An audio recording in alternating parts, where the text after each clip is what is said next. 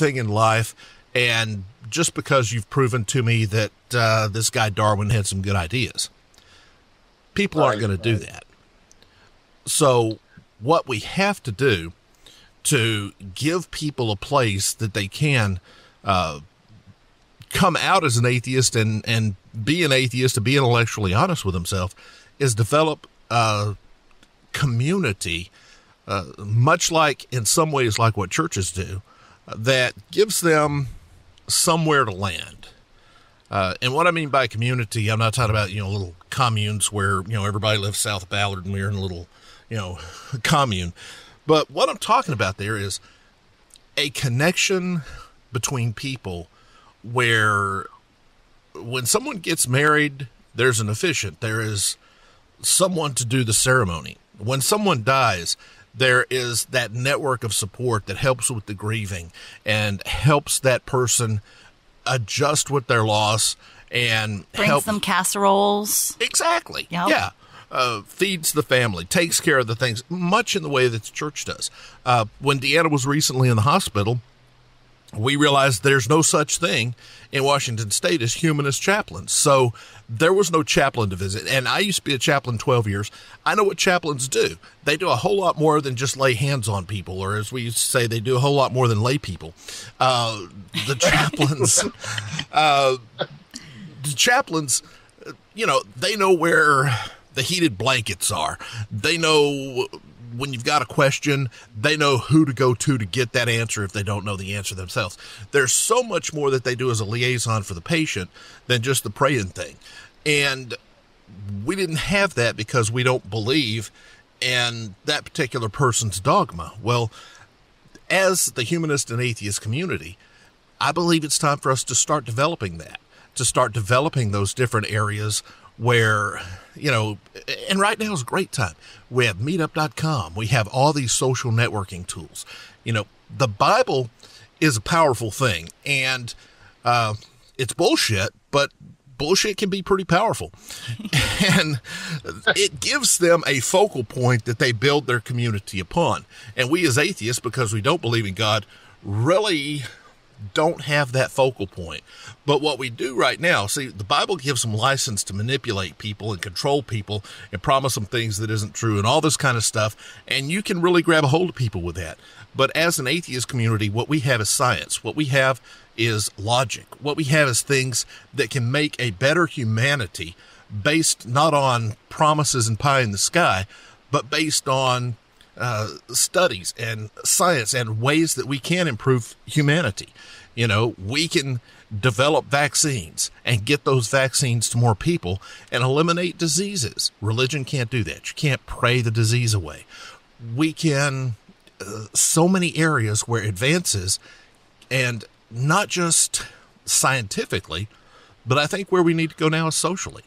Uh, when you look at socially, you know, technologically, we are eons ahead of where they were in the Bible. Back in Bible days, there were, you know, what was their, their main top uh, line of, of transportation was some kind of buggy pulled by some kind of animal. And now you look, we've got the space shuttle. We have space stations. We, you know, can send probes to Mars. I mean, uh, technologically, you can't even compare. But you look socially, we're in the same place they were back then. You hate people that aren't like you.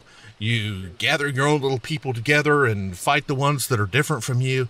You know, it's exactly socially where we were back then. So it's time for us as a species, I think, to develop socially. And there's nothing better than the skeptic humanist community to bring that about. Yeah, you know, a big part of our um, our community right now is online, and I would love to be able to bring that into meet space, as it were. You know, and um, some some groups are definitely doing that. You know, Meetup.com, like Rich mentioned, has eight bazillion skeptic and atheist meetup groups, places where people you know, don't just develop their relationships with each other on- online, but they, they go do things together offline. They have pub hours and talks by people, uh, you know, experts like Greta Christina come and do a presentation for the group. Um, just recently, Seattle Atheists did a uh, river rafting trip where they all got. Uh, what are inner tubes, you know, and they went floating down the river, that kind of stuff. And those are the kind of things that churches normally do. You know, you go to church and somebody comes and speaks, or you go with the church ski group, or you go with the church youth group, you have a picnic, whatever. And that stuff is starting to happen. Um, there's also a lot of groups like um, xchristian.net, which is you know, all about providing support to people who are leaving Christianity. And I'm, I've no doubt that there are people on there who know each other in real life because it's such a big online board. So many people can go, oh my gosh, you're in Seattle too? Great, let's get together and have a beer. Um, right. Uh, there's uh, projects like uh, Vyckie Garrison's Take Heart project. She mm-hmm. runs the No Longer Quivering.com blog, which is about, uh, you know, ex women from the patriarchal quiver, quiverful movements.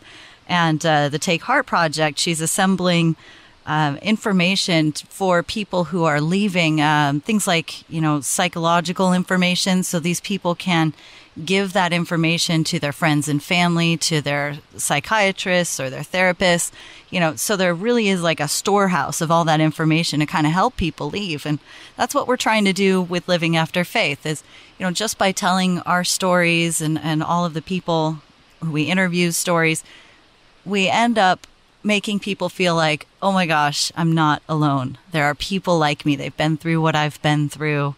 And even that little bit helps. But, you know, we're also able to extend that help to, to more real life situations. Um, we recently got an email from someone who um, I can't remember where he lives, but he's he wants to move to the Seattle area, yeah.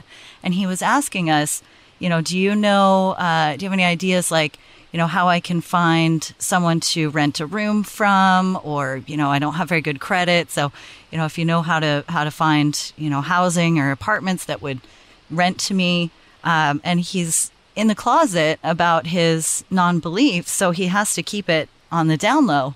And we, you know, we started recommending and, and telling him our experiences renting and, and got in touch with some friends. That's the kind of real life help that we atheists can give to each other. And, you know, we are creating community little by little. I, I think the next step, though, a big ass building. oh.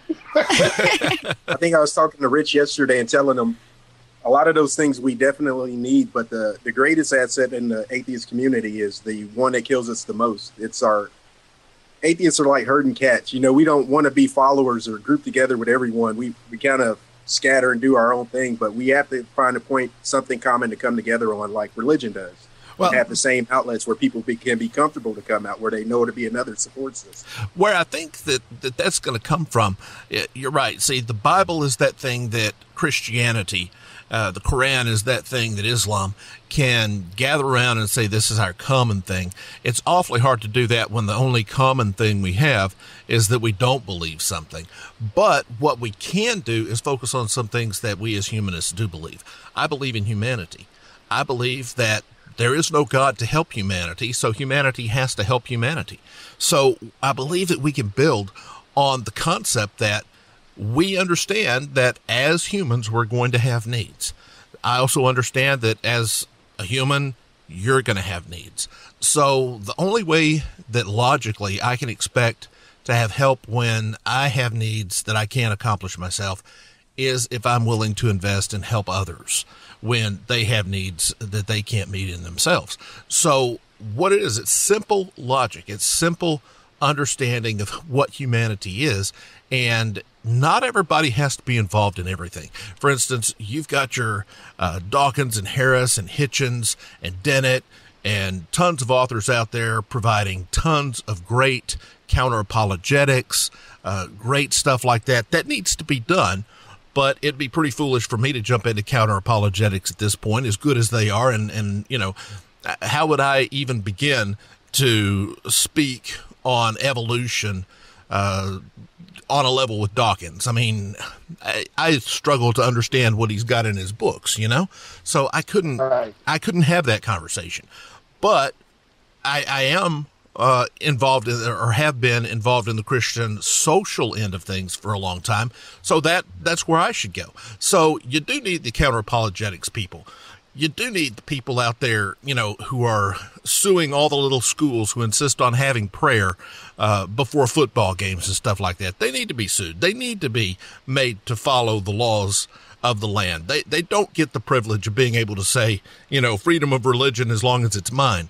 You know, so you know, there is a branch that needs to do, and FFRF and uh, American Atheists, they're doing a great job with that. They are fighting that fight and doing a great job of it. So, what what I foresee is people playing a bigger role in the area that fits them the most. When we talked to David Silverman on our podcast, he said he believes that the biggest group of atheists is is not the activists, it's not people who are out, it's people who are still on church pews you know and if we're going to be able to get those people to be comfortable to be the atheists that they really are there's going to have to be social development that takes place as well so i think as a movement we're doing a great job in a lot of areas but there's some areas that we can really step up and raise things to another level i agree I definitely agree with that. And also, I want to ask uh, since you guys are in Seattle, that's a big place for free thinkers. What type of programs do you guys see in Seattle that other places around can uh, start to uh, put together themselves?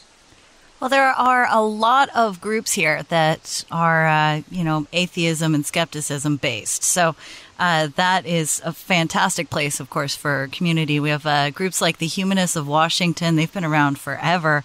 Uh, Seattle Atheists and Tacoma Atheists have their own groups, as well as uh, the Eastside Atheists and Agnostics. Auburn uh, Auburn Freethinkers Society, um, all of these just within, you know, 20, 30 miles of Seattle. I'm sure there's some I'm forgetting. And, uh, you know, that of course is a big place to start. Some of them are just, you know, social meetup groups, and some of them are, you know, actual whole nonprofit organizations. And, uh, you know, I think a lot of people, they, they go, God, I want to go to, I want a group of people. I want uh, a, a meetup full of skeptics and atheists. And how do I find that?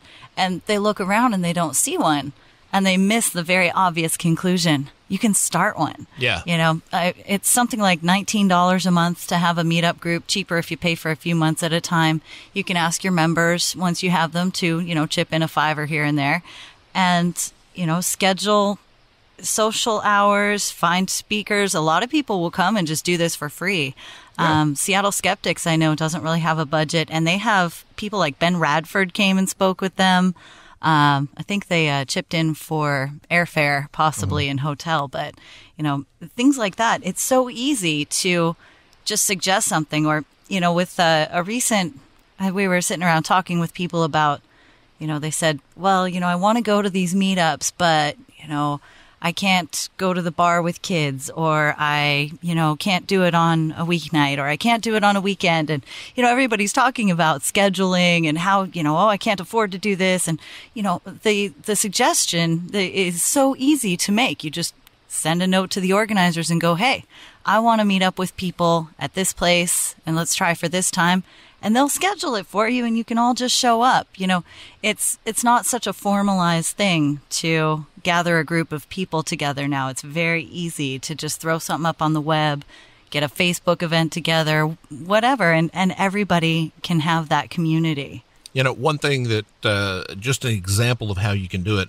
a good friend of ours, Scott, uh, hosts a meetup at the blood bank. And uh, he is probably given more gallons of blood than a human ought to be allowed. I mean, he has never missed a chance to give blood, but he encourages other people to do it. And here you've got all these atheists who are giving blood. You say, well, what does that have to do with atheism? Absolutely nothing. And that's why it's so beautiful because we don't have to be, uh, everything centered on the fact that we're atheists. We have lives, and uh, giving blood is something that helps everyone, helps the whole society. So uh, when the blood banks are running short and having you know that critical time when they need blood who they call? They call this atheist guy and say can you get any of your people to come in and give blood? I mean that just in a very non-confrontational just openly giving to society automatically raises the view of atheism. Because here you've got this atheist guy that if we pick up the phone and call him he can get some people in here and we can save some lives. So, just a simple idea of what turns you on. What is your thrill? And here in Seattle, we have a lot of things. There's movie night in the Lion's Den one night a month where uh, your price of admission is to bring yourself.